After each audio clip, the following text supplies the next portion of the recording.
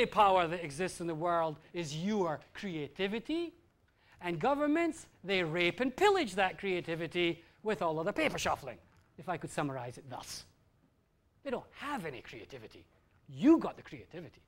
You produce goods, you produce uh, ideas, you produce magnificent new inventions, and then they come along and license them. Take it away from you, right? That's basically how it happens. Laissez faire capitalism is the ideal behind their future city in cyberspace. They have created the first sovereign city in cyberspace. And you may, oh, yeah, it's a bunch of, yeah, yeah, yeah, but so, it doesn't mean anything. It does mean something.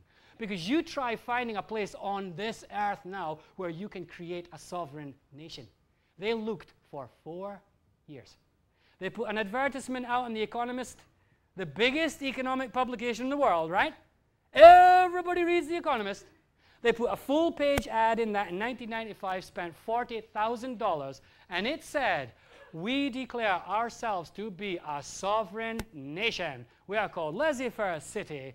We're going to be in cyberspace, and we claim our right to be free and untouched by any government of any kind anywhere in the world. You know why they did that? Now, our expert here will know about the law of tacit admission, I think it's called. Tacit admission. If somebody doesn't come along after you've announced it to the whole planet and say, you can't do that, it's done. It's a done deal. They didn't only do it once, they did it twice. Anybody got any uh, problem with us being a sovereign nation in cyberspace? Get out here and tell us now then. Nobody showed up, of course. They couldn't because they're using exactly the same strategies that all of our kings and patriarchs used to claim power over an area. Except these guys are not into control. They can see what's coming. I can see what's coming. All your emails going to get scammed. All of your accessed internet pages are going to be recorded. All of the information about what you think, like, love, hate is going to be in a data bank so that a vast amount of electronic surveillance technology can keep you down. So where's the only place? They looked all around the world. They came very close. They went to Peru. And they met Fujimori, who's gone into his third term.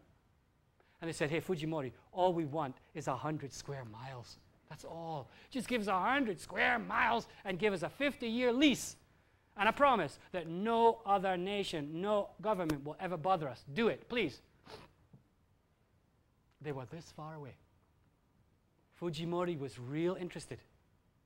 And right about that time, the Shining Path Maoist guerrillas started knocking hell out of Peru, and Fujimori couldn't do it. He was already taking too much heat. He was executing all the Maoist guerrillas behind the door, you know, shut up. That was how he cleaned up a problem. That's the truth. There was nothing diplomatic about it. You guys getting snuffed. So he couldn't take the heat of being the first country on earth to offer this wild bunch of characters 100 square miles. And they got really depressed. Five years searching. Then a bunch of young kids came along the 20 year olds, the cyber gizmo kings. And they said, You guys, you can still do it, but not on Earth, in cyberspace. For five years, they've developed the software. They've developed all of the technology for encryption because that's what's coming next. You try and get yourself good encryption software two years from now, that's what's going to happen. Encryption software is now treated as a weapon. Did you know that? It is a weapon. It is a dangerous weapon. Can you believe this shit? So, what they've been doing is they've been creating a super encrypted, multiple firewalled cyber nation space with multiple servers all around the planet. You knock this one out, won't make any difference. All the information goes to this one. That's why the internet was developed in the first place, wasn't it? They bomb here and it's still here. Well, they've taken that to a high level of intelligent development, totally encrypted. So I went down and I checked out these characters. Wild characters. these guys are not taking no shit from nobody. Their leader, their leader is about 56. He's an ex-Hollywood film producer who fled America five years ago because he knew exactly what was coming. And this guy is a passionate defender of sovereign individual rights and free capitalism. Laissez faire. Leave me alone. You know what the French means? Get out my face. It's nothing to do with you how much money I make or what I create or what I think. Or if I want to take this sacred plant to change my state of consciousness, you can get raptured. Because what you are feeding our children, Ritalin and all this crap, that's, that's the problem.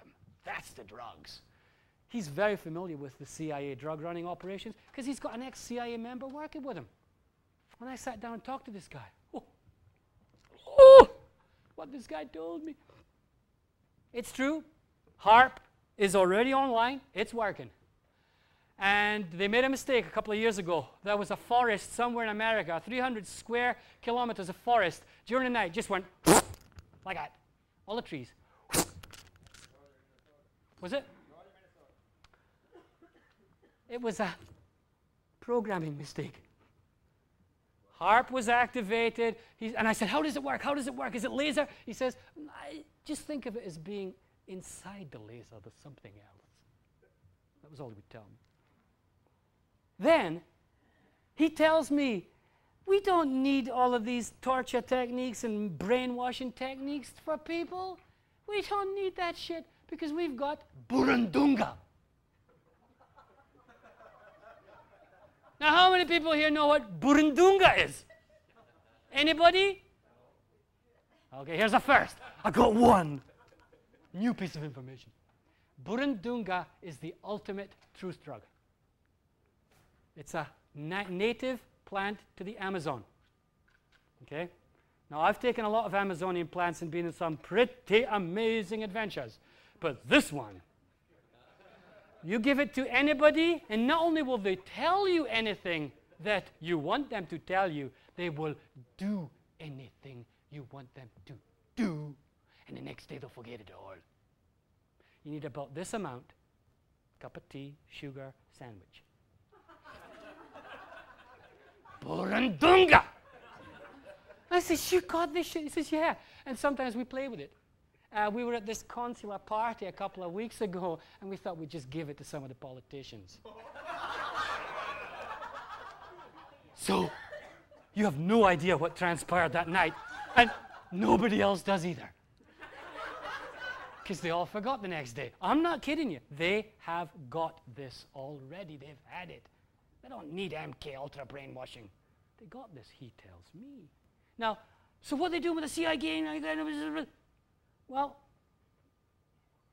he's been well trained.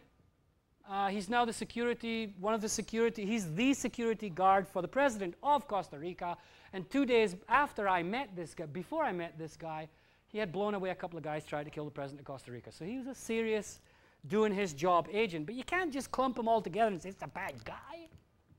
So I says, what do you think about America? He said, it's uh, micromanagement doesn't work, he says. It doesn't work. Micromanagement means controlling every tiny part of people's lives. He said it doesn't work. Historically, it never has, never will.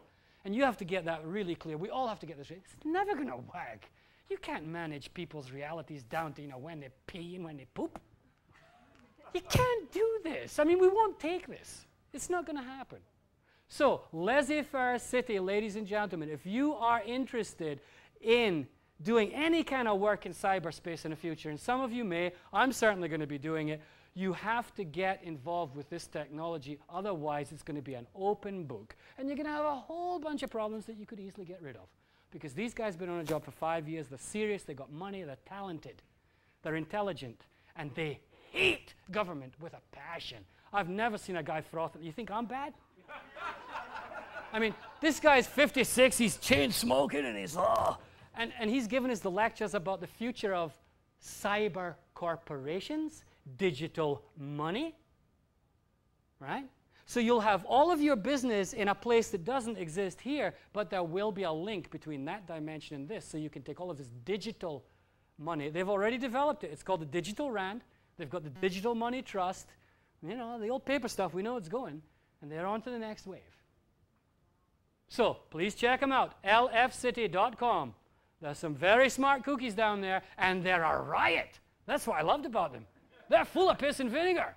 I mean, we just partied and we, and we had these incredible lectures. Amazingly talented people. But the leader, he said, I'm going to get the gonads of the government.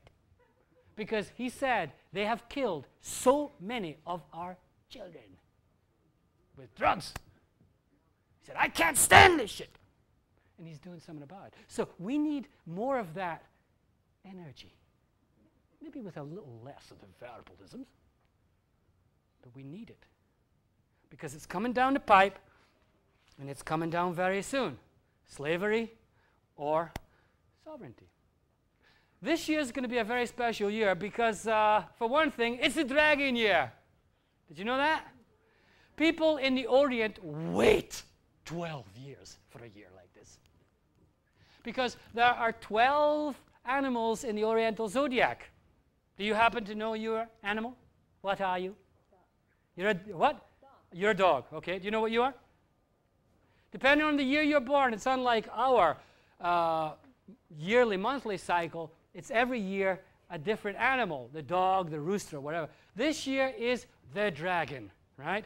The dragon has phenomenal energy. It's the only one of the 12 that doesn't have a physical representation. In other words, there's no real animal called a dragon, right? It's a celestial one, right? It doesn't exist. It's in your imagination. Is it now? Dragons and snakes have been with us for all of history. The dragon year is always characterized by sudden reversals. You'll be going through all kinds of shit in your relationships and the money and the tax and the this and the that, and you think, oh my God, I'm overwhelmed. And then suddenly, the whole thing will change. Cut, new scene. That's the kind of energy that the dragon represents. I've seen it since the beginning of this year. I've seen friends go through crisis after crisis, miraculous transformation, amazing healings. Suddenly, whoo, it's all different. Based on what? Well, everyone's a sovereign individual and everyone's got their way of dealing with it, right? I've seen it personally. I live in Nelson. Nelson is a spaceship, to tell you the truth. It looks like a town. It looks like Canada. But in fact, everybody lives in Nelson. They're actually on a spaceship. And they're watching this holographic movie called Earth 2000. You think I'm joking? Yeah. I didn't tell you where all of this started. Now, how many were here last year so I don't bore your arse off? Okay. I'm, I'm just going to make it real simple. What brought this whole adventure about for me was a massive brain operation, I'll call it, whereby I became in contact with astonishingly beautiful flying lights in the sky. Now, I'm not going to call them UFO because they're not unidentified. They're not unidentifiable either. Seven years, ladies and gentlemen, every night. Almost. I would go to a spot in the woods by myself with my dog, and I'd stand there and I'd do a little bit of a ceremony and Sure enough. Nice shit, hallucinating.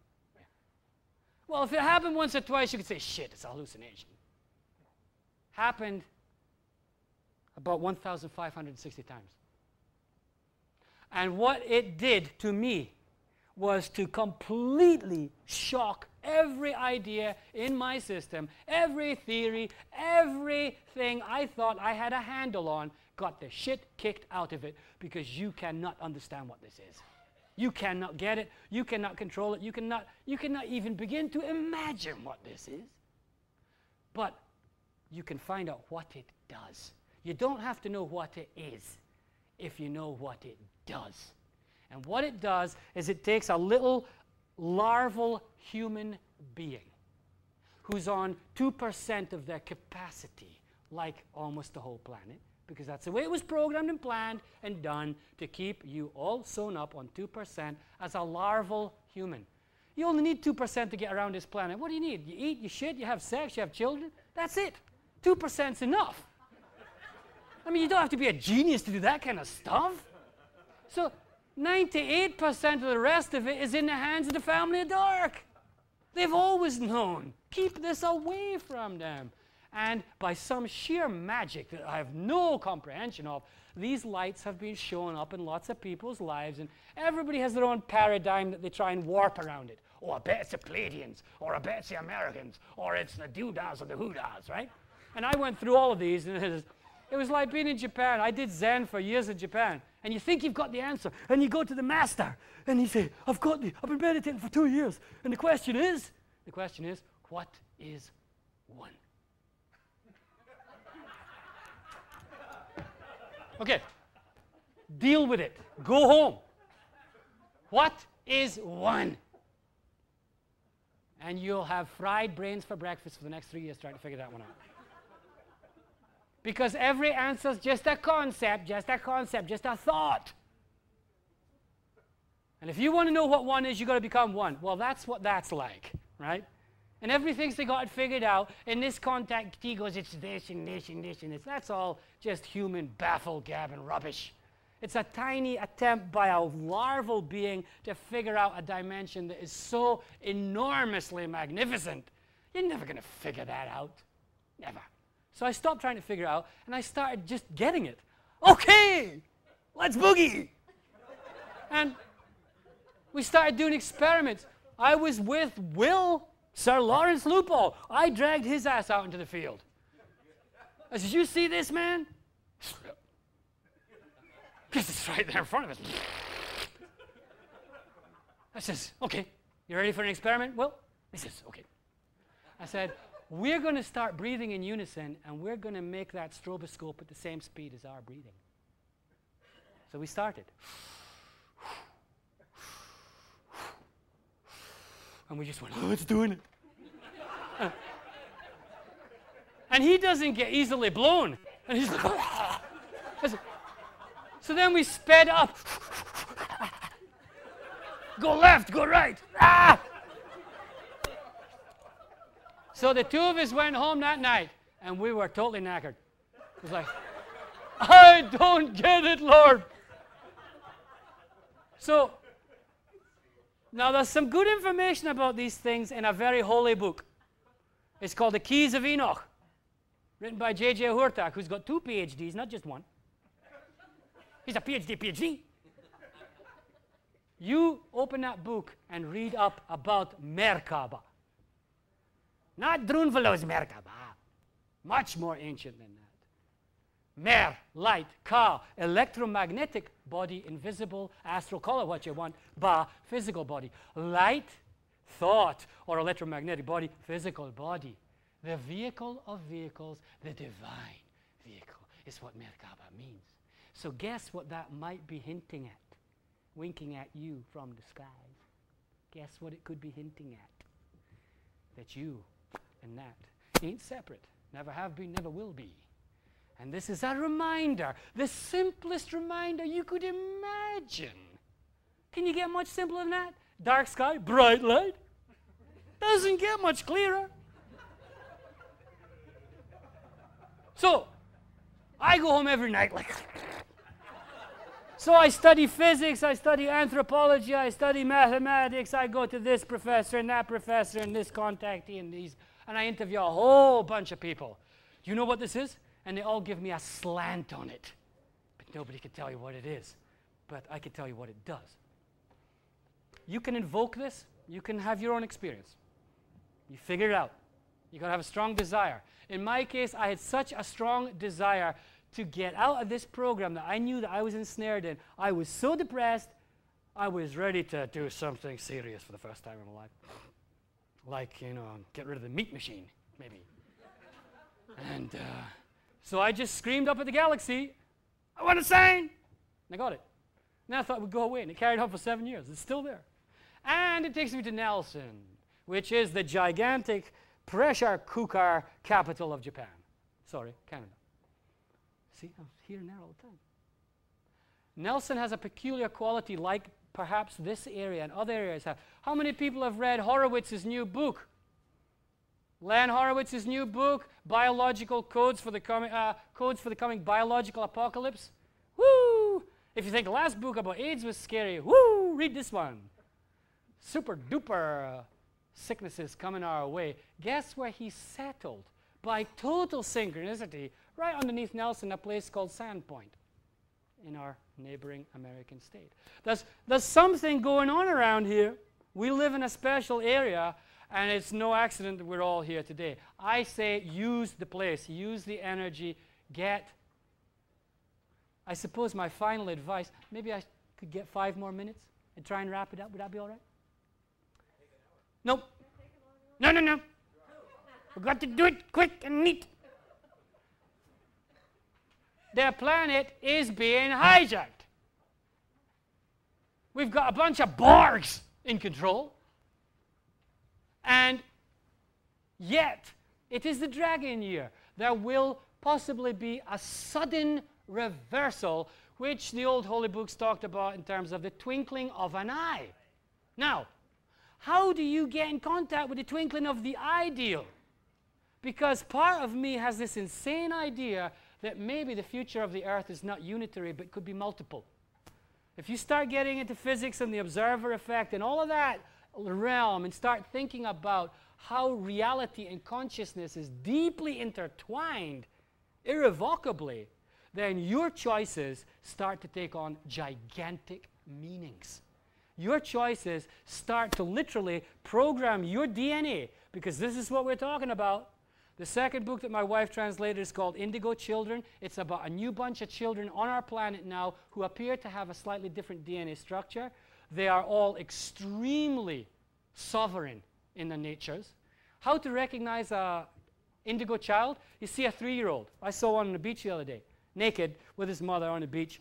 And mom, he says, I want to pee. And mom says, okay, we'll go here on the bushes. There's a couple of guys sitting here. We're going to watch it. And so she, she kind of looks at her mother like, hmm. and she follows her mother to go in the bushes to pee. And then she says, Nope, I want to pee here, in my house. And there was just a little piece of wood that had become our house. And she pees right in front of us. And, and to the credit of her parents, her mother didn't do anything, right? Indigo children are the next shift in the DNA, apparently.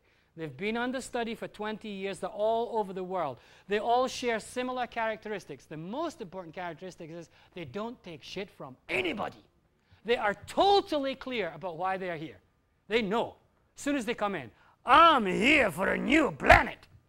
I'm not putting up with the Babylonians anymore. And so they put them in a school system. They all freak out. And then what happens? Attention deficit. Ritalin, Ritalin, Ritalin.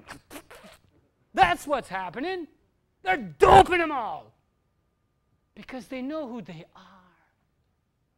They're the next wave of evolved human beings. We're the current wave of evolving human beings. They're the next wave. The DNA has shifted.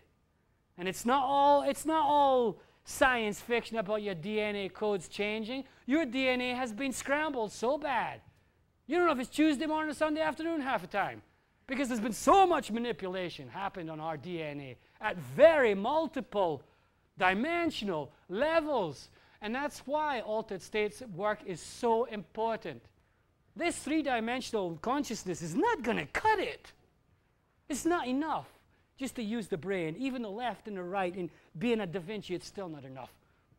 You've got to become familiar with the dimension that we are inexorably hurtling towards. But there is a gate. There is a gate at this dimensional doorway. And people have known about it for thousands of years. Stop him at the gate. Don't let him in. Don't let them into this dimension. Once they get in there, they'll find out they can do anything they want.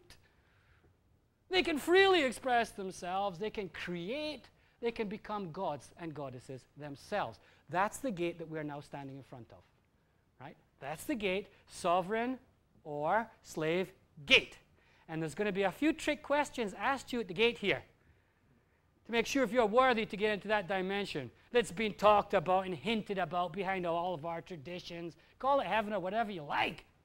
It's real. And we're headed there. If we start getting our trip together. I was wondering what my uh, advice would be to everybody because I can't tell you what to do. You're all sovereign people. That's the last thing we want to do. Do this, do that, join this group. And this is where Japan gets really scary. Because people like me in Japan, they immediately want to turn into a guru cult figure. And the next thing you know, people come up after talk and they go, Can I shake your hand? Well, I don't know. It feels kind of weird. Please. And you, it's, like a, it's like a bunch of vampires, you know. Can I shake your hand? and they think, if I can get some of this juice, I'll be all right. And that's exactly what I'm not talking about. That's exactly what I'm not talking about. Stop being vampires and juicing up on other people's energy and juicing up on other people's ideas. Get your own ideas. Get your own connection to the sacred, your own unique, individual, perfectly creative way. Every single one is different. You've all got your ways. Now, I found out a real old fashioned way to do it myself. Took me a long time of getting my head smashed in with magical plants, but I finally got it. It's real simple. It's real simple. It's called pray. That's all. So, that's it. I hate to leave you in the lurch, but it's time to eat. And that's about it. So, cheerio.